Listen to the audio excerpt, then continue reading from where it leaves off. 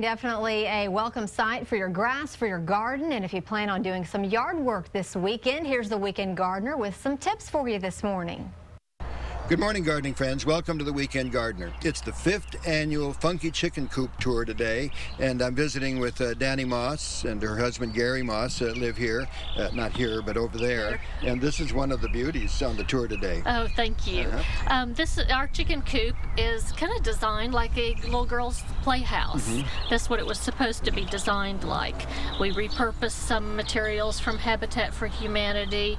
The rocks all came out of the yard except for the flagstone Mm-hmm. On the porch. It has electricity, running water.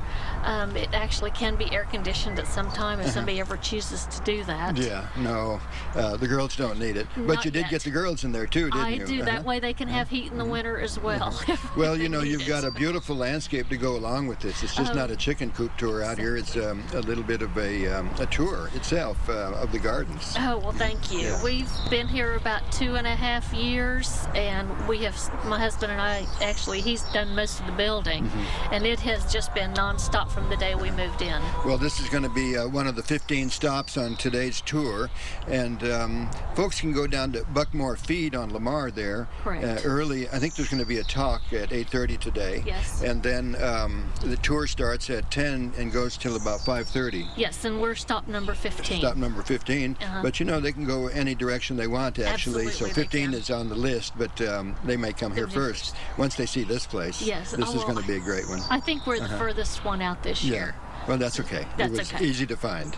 Well, Danny, um, it's it's really going to be nice for the folks to come and get inspired by the work that you've done. It's not just a chicken wire coop. It's a it's a beautiful little Thank dollhouse you. for your for your girls. We love it. Uh-huh, good. I love it. Okay, Danny Moss right here will invite you out to her place after you go to Buckmore Feeds and get the information sheet and the maps for today's uh, tour. You'll like it. I've been on it many times, and I think it's a great one to go on every year.